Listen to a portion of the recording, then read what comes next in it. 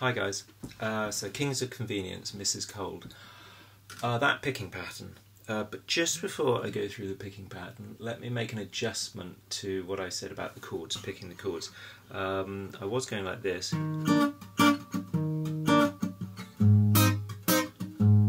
Which is uh, using part of a E flat major 7 at the 6th fret and part of an A flat major 7 at the 4th fret. Um, a shape at the 6th fret and E shape at the 4th fret. Um, so I was picking before on the E flat major 7 I was picking obviously the A string for the root note, E flat, and then I was picking the D and G strings. But um, for some reason, which I, I, didn't hear it before, um, I can hear now that they're playing these notes which is not quite an E major 7, it's an E major 9, a slightly more complex chord, because you've got the ninth note of the scale in there as well as the seventh note of the scale. So instead of this sound, you've got that sound.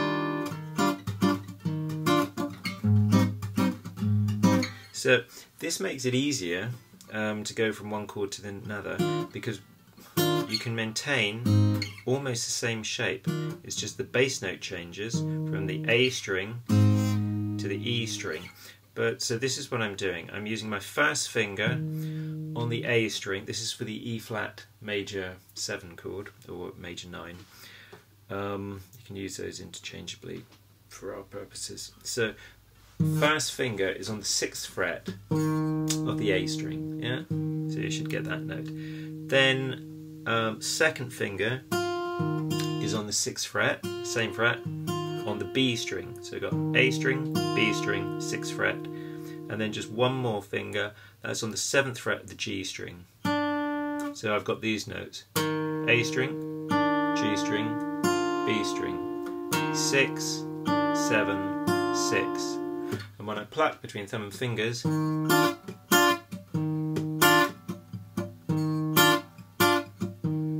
going to get that sound, okay?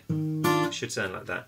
Now, this makes it easier to change chords because when you're going from the E flat major 7 to the A flat major 7, can you see what I did there? The first finger comes off, fingers 2 and 3 maintain their position, they're anchor fingers, they stay on the strings, slide down 2 frets. So fingers 2 and 3 go from fret 6 and fret 7 down to fret 4 and fret 5.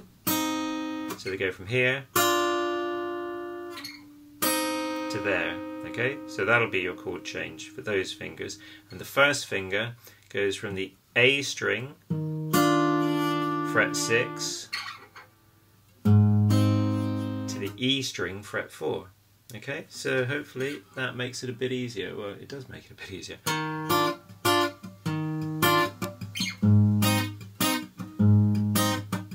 Okay, so now that's um, addressed. Uh, the picking pattern. Now it's a two bar pattern, a sort of bossa nova type thing, and the first bar we did, which is one and two and three and, It's really sixteenth notes. It's really one E and a two E.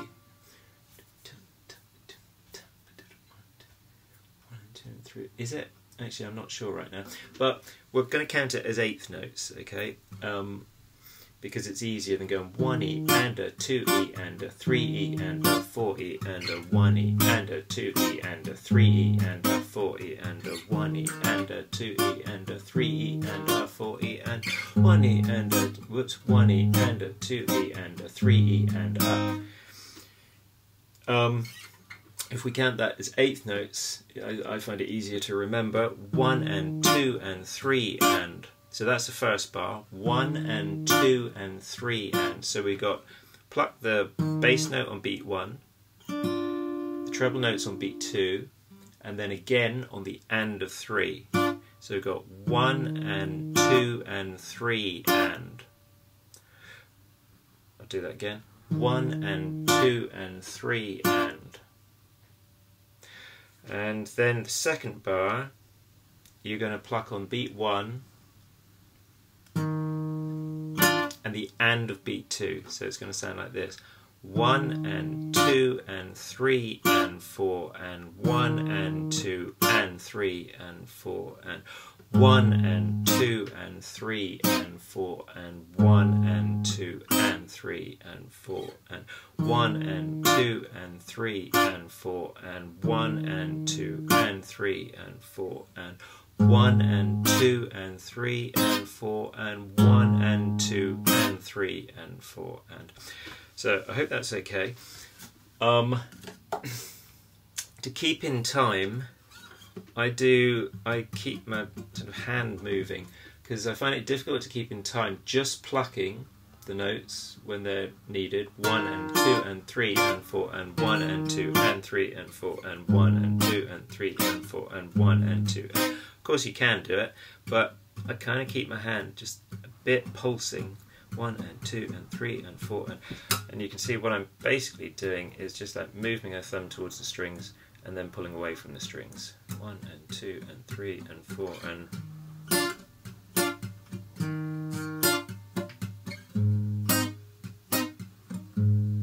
and I'm not doing it all the time but I'm doing it in between certain notes, yeah, certain plucked notes. So one and two, I'm not moving my hand in between. You might want to. One and, oh no, it's pretty difficult. You don't really have time. So one and two and three and four and, and then I'm doing this to keep in time because it's pretty difficult getting those hits or plucks in the right place in the bar if your hand isn't moving to keep yourself in time. You know, like when you're strumming,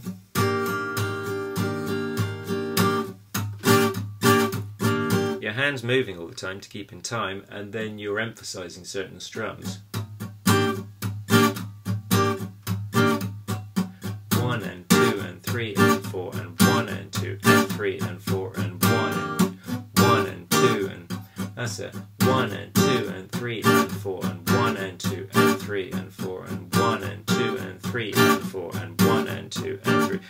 Was doing that same pattern but strumming, you can see how my hand would keep moving. I wouldn't go one and two and three and four and one and two and three and four and or one and two and three and four and one and two and three.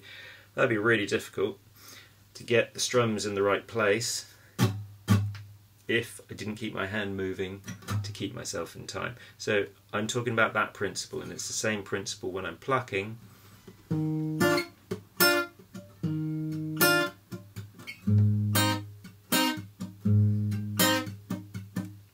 I'm doing this to keep myself in time. And then you can hear, yeah, you can hear these muted notes. And that's okay. I quite like that because it's like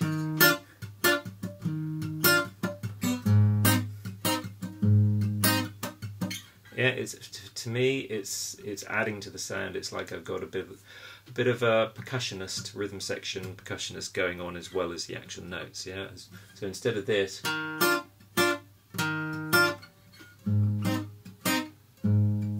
It sounds to me pretty empty. One and two and three and four.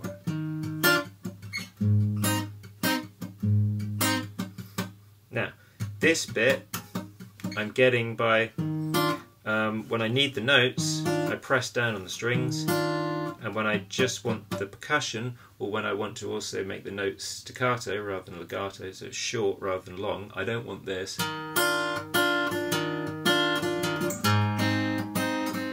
That's keeping my fingers pressed down all the time, so what I do is, as soon as I plucked, I release the pressure on the strings. I keep the fingers on the strings so that the strings are muted, but I release the pressure so that I'm not getting a note, but I'm getting that muted sound. And there is no right or wrong about how many times should I do this. It's really down to you, what you feel. Maybe you feel like just going one and two and three and four and one and two and three and four and if you do, absolutely fine. But like I said, I find it easier to keep in time with a bit of movement. One and two and three and four.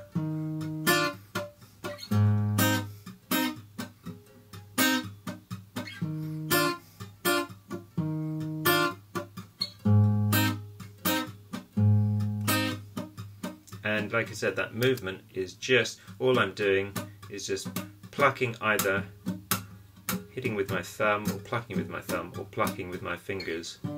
Whoops. And basically, I'm not even really plucking with my thumb for the muting part. I'm just doing this movement. So bringing the hand down on the strings and then pulling the hand away and plucking the muted strings. Gives me my timing. 1, E and uh, or 1 and 2 and 3 and 4 and etc. Yeah? And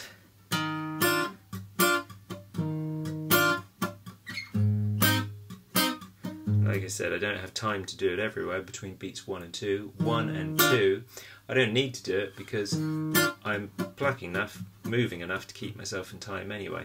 But when I get those bigger spaces in the bar with only one pluck, like in the last half of the first bar, 1 and 2 and 3 and 4 and, I put in that and, I just probably do it all the time, not really thinking about it, but probably do it all the time to keep myself in time. Otherwise, you've got the last half of the bar completely empty except for the pluck on the end of three. One and two and three and four and. Yeah? So after that pluck on the end of three, one and two and three and four and the beat four, I just find I want to do some sort of movement to keep myself in time. Right, so I probably laboured that point quite a lot. So hopefully that's okay. The two bar pattern, once again, just go over it. One and two and three and four and one and two and three and four and oh, and then I didn't use my anchor fingers there. Right, yeah, so remember that. Fingers two and three, stay in position, go down two frets, one and two and three and four and one and two and three and four and.